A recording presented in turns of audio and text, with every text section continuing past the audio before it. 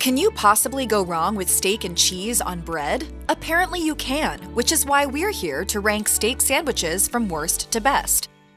Invented in Philadelphia in 1930, the Philly cheesesteak initially consisted of roast beef and grilled onions. Cheese, or more specifically provolone, was added to the sandwich in the 1940s. Domino's Philly cheesesteak sandwich consisted of green peppers, onions, and mushrooms, as well as provolone and American cheese. This chain's take has received predominantly tepid feedback from patrons. Consumers highlight that while the sandwich has a decent amount of cheese, the same can't be said for the steak, which is noticeably scarce. Mickey Willstone of the Arulio News Network comments that although the beef isn't quite as bad as he expected, it's more akin to a pizza topping than steak. Willstone adds that the sandwich comes with plenty of bread and very little meat. Meanwhile, one TripAdvisor reviewer isn't as diplomatic, saying, Disgusting Philly cheesesteak sandwich. They should be ashamed to even send this out the door. I'll bet the person who made it wouldn't even eat it.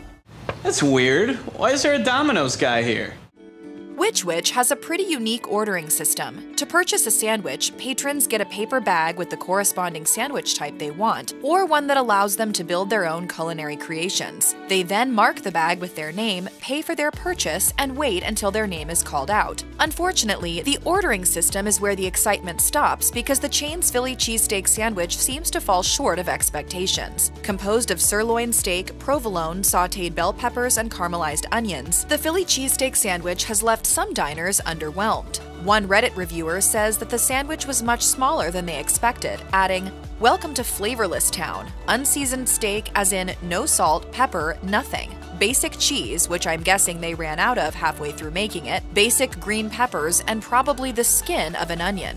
One YouTube reviewer describes the Which Wich cheesesteak sandwich as messy and somewhat strange tasting. This person believes it has a flavor reminiscent of eggs, which seems a bit odd for a Philly cheesesteak. Despite its name, the Outback Steakhouse isn't an Australian invention. Instead, the chain was founded in Tampa, Florida in 1988 when four friends decided to venture into the world of casual dining with an Australian themed twist. While the chain specializes in steaks and seafood, it does have a steak sandwich on its menu. The prime rib sandwich includes roasted prime rib, provolone cheese, grilled mushrooms and onions, and the chain's spicy bloom sauce. All the ingredients are nestled into a toasted baguette. It's important to note that when it comes to ribs, the prime designation relates to the cut of the meat rather than its quality. While Outback Steakhouse's prime rib sandwich may sound good on paper, the menu item has failed to impress steak sandwich connoisseurs. One dissatisfied patron on TripAdvisor says, Prime rib is supposed to be served medium rare. This resembled something like dried shoe leather. It was not even just medium, but well, well done 10 times over. Another reviewer writing for Complaints Board says that what they were served didn't look anything like the picture online. This consumer explained, they brought me the sandwich and I was shocked. It was as if I had ordered something entirely different from the menu. It was covered in mayonnaise, mushrooms, chopped up tiny pieces of beef, and dark brown onions on a crappy hamburger like bun. Outback Steakhouse Extreme. Punish your toilet. Ruth's Chris Steakhouse's steak sandwich seems to have all the right elements, save for the slightly hefty price tag. The menu offering comes with a sliced filet that's cooked to your desired level of doneness and a creamy béarnaise sauce. Somewhat similar to hollandaise, béarnaise is made with white wine vinegar, butter, egg yolks, lemon juice, shallots, and herbs. The sandwich comes with USDA prime beef, which is of higher quality than choice and select beef, and features abundant marbling. Instead of a flavorless roll, the item is served on garlic bread. Despite its pedigree, Ruth's Chris Steakhouse's steak sandwich seems to have failed to impress some of the chain's patrons. One unimpressed Grubhub customer complains that the sandwich they were served looked nothing like the photo on the menu, saying, I ordered a steak sandwich, which in the photo had lovely slices stacked next to one another, and I ordered medium rare. In reality, the sandwich was various sizes and shaped pieces of meat in varying degrees of doneness. That being said, some reviewers disagreed and enjoyed the dish. One YouTuber describes the sandwich as awesome, adding, The bread, more precisely garlic bread, was buttery. It was crispy on the outside and soft on the inside. The filet was amazing. It had blue cheese on it, which was awesome. I definitely want to get one again. True to its name, Firehouse Subs was founded by two firefighters in 1994. While the Firehouse Steak and Cheese Sandwich is one among many beef sub offerings, this one comes with sauteed steak. The other ingredients in the sandwich include melted provolone cheese, bell peppers, caramelized onions, and mayo. Firehouse's steak and cheese sandwich has seen a range of feedback, both good and bad. One sandwich enthusiast on Reddit says that Firehouse Subs is their favorite chain, elaborating, I may be slightly addicted to the Firehouse steak and cheese. It's a little pricey for a sandwich, but the quality is always good and worth the extra cost. Unfortunately, that's not the reaction of all consumers, as some see the sandwich in a completely different light. One Grubhub customer says, Steak and cheese sandwich was dry and had no condiments with it. Another patron on Yelp unfavorably compares the sandwich to the Philly offered by Jersey Mike's. The Firehouse sub has significantly less meat in it, and the meat and bread don't taste as good as Jersey Mike's. The bread does not seem to be freshly made, or it is a different type of bread that is harder and tougher.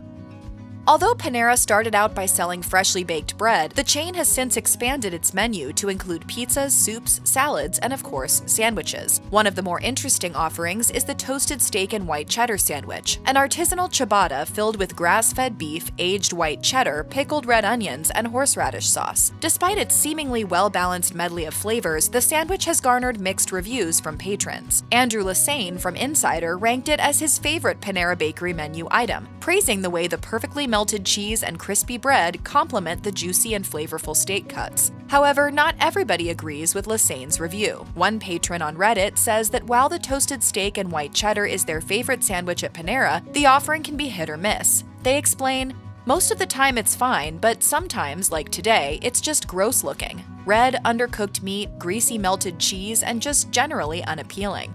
A Yelp reviewer echoes this sentiment, saying, the amount of horseradish on this sandwich is burning my nose. This is the worst sandwich I've ever received from Panera. I usually love this sandwich, but it's almost uneatable.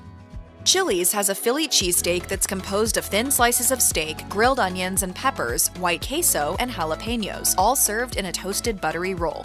Smell that Philly steak. How about those onions and bell peppers? The sandwich lacks consistency. Some customers love it, while others find it disappointing. The main issue seems to be the type of cheese used. While the menu lists the ingredient as white queso, one reviewer on ReviewStream identifies it as either provolone or Cheez Whiz. Regardless, this consumer appears to enjoy it, adding, They were both good. It was something about the provolone, though, that made the sandwich richer. A patron over on Grubhub remarks that there is something rather runny about the sandwich, saying, bun was saturated, couldn't even pick up the steak sandwich.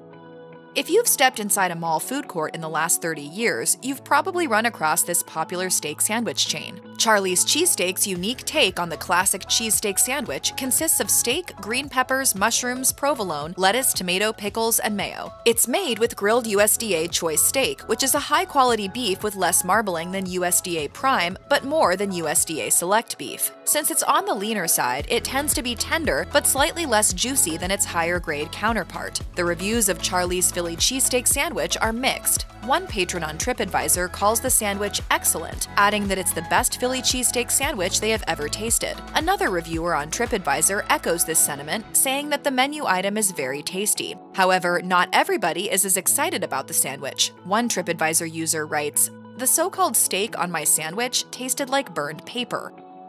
Potbelly Sandwich Works features around 20 choices on its menu, making it one of the go-to places in the country to enjoy freshly made sandwiches. One of the stars of the menu is the Steakhouse Beef Sandwich. Simple yet indulgent, the menu item includes Angus roast beef, provolone, blue cheese crumbles, and horseradish aioli. For purists, the chain also offers the roast beef version of the sandwich with Angus roast beef and provolone. Despite the somewhat unusual combination of flavors, the sandwich has received overwhelmingly positive reviews. The Southern Snack on YouTube rates it 8.5 out of 10, while another YouTuber, Stupid Food Review Show, gives it a 9 out of 10. However, not everybody is on the same page when it comes to the meaty meal. One DoorDash reviewer in particular seems unimpressed with the offering, saying, My sandwich was a mess of horseradish aioli with more sauce on it than meat.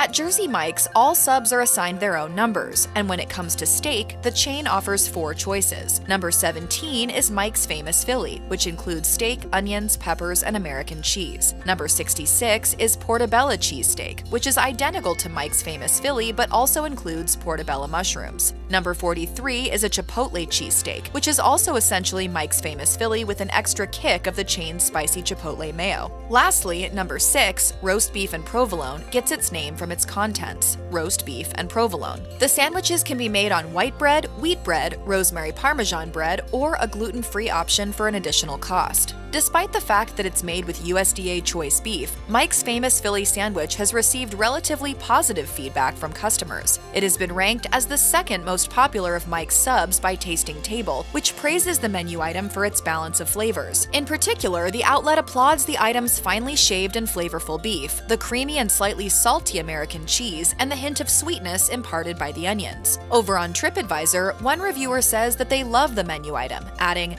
Thin, tender pieces of sliced beef, flavorful with each bite, onions, peppers, and white cheese on a soft sub bun. Easy to bite through the soft bun and tender meat. Just a really good hot sub. That takes me to my happy place. Oh, wait. Jersey Mike's is my happy place. The shaved steak sandwich at Del Frisco's Grille comes with USDA prime top round, which is sourced from the upper portion of the hind legs of a cow. Since these muscles aren't exercised as much, this cut is more tender than the other sections of the round. The meat is served with creamy horseradish on a soft French roll and comes with au jus. This shaved steak sandwich has received mostly positive reviews from patrons, who have lauded its blend of flavors and the option to personalize it to their liking. Some, however, have mixed things to say. One TripAdvisor review reviewer compares the dish to a French dip sandwich, adding, The au jus and horseradish were a nice touch and really brought the otherwise bland meat to life. Another customer writes on TripAdvisor, The bread was uninteresting, though the actual steak was good.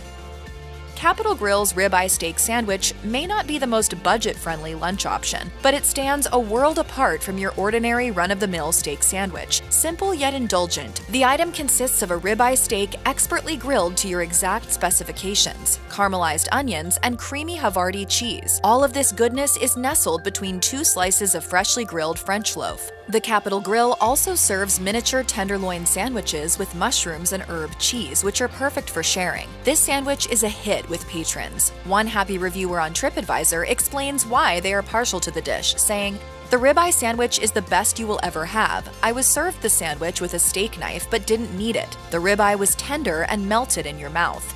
Another customer agrees, commenting on Yelp, the steak is literally cooked to perfection, medium rare. The French loaf looks like it will be very hard to bite into until you actually do, and it's that flawless crunch on the outside with the soft breading on the inside.